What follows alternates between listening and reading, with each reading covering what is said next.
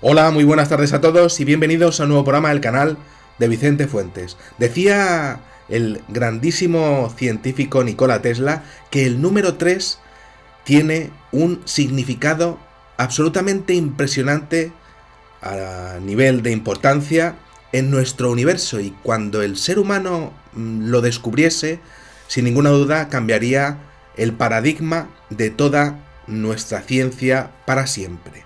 Y es muy curioso porque em, algunas inteligencias ajenas a la Tierra han decidido mm, pues establecer un contacto pacífico y fuera de la censura de nuestros gobiernos a través de los famosos círculos de las cosechas que llevo tantos años estudiando. Y hoy nos vamos a centrar en uno que apareció muy cerca de una central de antenas eh, de radio en Baviera, año 26 eh, de julio de 2014, año 2014, apareció ese día, y que, mm, bueno, pues que tiene una geometría con círculos eh, basados en el número 3. Podría pasar por un simple fractal, pero no. Hoy no vamos a hablar exactamente de ello. Vamos a hablar de la forma con la que realizaron estos seres extraterrestres este impresionante diseño de 74 metros que realmente pues, mm, pues trata de interaccionar con nuestro subconsciente, con algo que nosotros conocemos desde hace décadas. Mm, bueno, pues exactamente desde el año 1984, en donde el señor Alexei Pasitnov, creo que lo estoy diciendo bien en mi ruso del barrio del Pilar, pues resulta que eh, sacó, mm, programó, diseñó e ideó un videojuego llamado Tetris. Creo que todos lo hemos llegado a jugar alguna vez en mi Game Boy, que tengo ahí en mi micro salón, aún funciona. Y es que eh, esta inteligencia ha utilizado los cuadros blancos y negros, al igual que ocurre dentro de este famoso videojuego, para Mm, eh, intentar mostrar lo que serían los desplazamientos de los campos magnéticos. Lo hemos visto, por ejemplo, en el mejor de la historia, año 2002, Budburuk, que es impresionante. Es un campo magnético eh, basado en una geometría de seis lados, otra vez el número 3 en este caso, pero mm, en este que apareció en Baviera, pues aparece eh, pues una serie de círculos concéntricos en donde la, lo que sería pues eh, la cantidad de espigas que aparecen pues unos están, unas están dobladas, unas plantitas están dobladas, otras están sin tocar y mm, resulta que entre estos círculos pues aparecen pues una serie de rombos. Esto es absolutamente fascinante porque lo que estaba tratando de mostrar este crop circle era la manera que tiene esta civilización eh, al respecto de viajar por el universo. Las distancias, desde luego, en el cosmos son tremendas y se necesitaría una tecnología absolutamente tremenda para abrir un agujero de gusano y, mm, bueno, pues desplazarse desde su planeta de origen hasta aquí. Pero claro, ¿cómo se lo mostramos a los seres humanos? Tiene que ser de una manera comprensible. El Tetris lo es.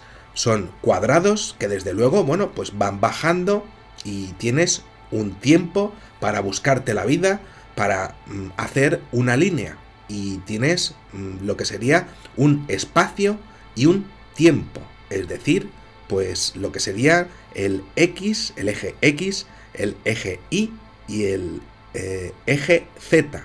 Esto pues serían las tres dimensiones. Pero claro, para viajar por el espacio, pues las distancias son descomunales y se tardaría muchísimo tiempo en ir desde una estrella a otra. ¿Y cómo se lo mostramos a los seres humanos? Con cuadros, igual que ocurre con algo que es absolutamente universal y que comprenden todos los seres humanos.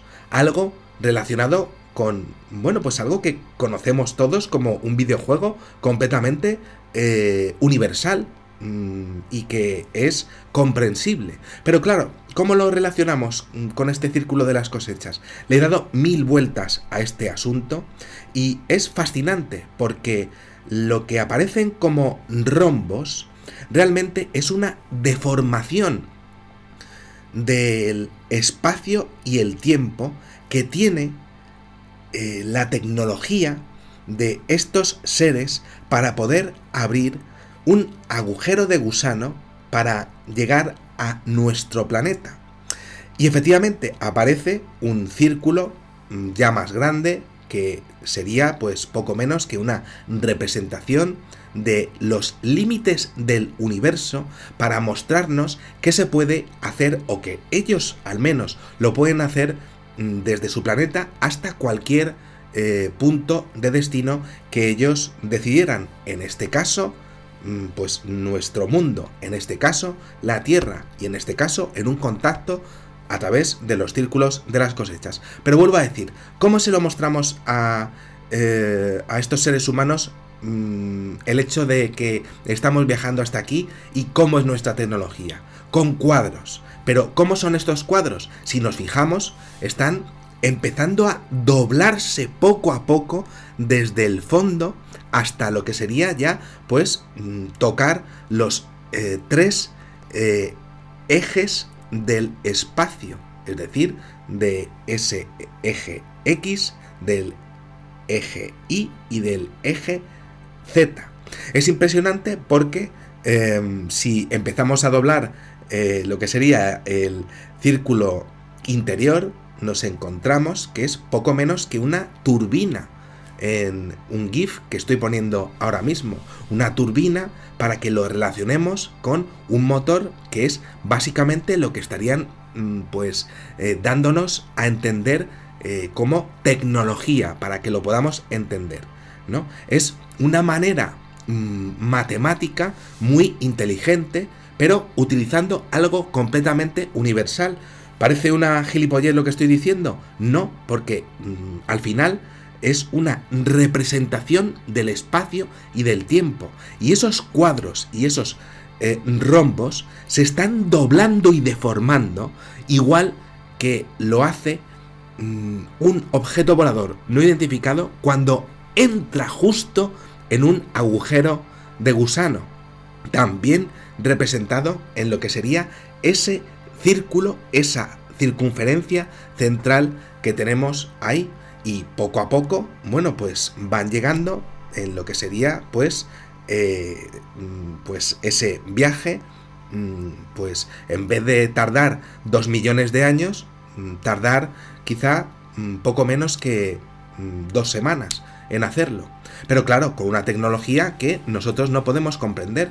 Eso sí, ¿cómo se lo intentamos hacer entender a los, eh, a los hombres, a estos homínidos que hemos aparecido aquí en la Tierra y que por cierto podrían ser ellos los responsables de nuestra existencia ya gracias a que hay un eslabón perdido y que, bueno, pues podrían haber sido ellos los constructores de nuestra Mm, bueno, de nuestra raza, del Homo sapiens sapiens. Bueno, pues, mm, ¿cómo lo hacemos? A través de cuadros que se van deformando poco a poco cuando ya van entrando ellos en un agujero de gusano que están eh, exponiendo pues como mm, una eh, bueno pues un triángulo con círculos exponiendo las tres dimensiones siendo los rombos la cuarta dimensión del tiempo que ellos son capaces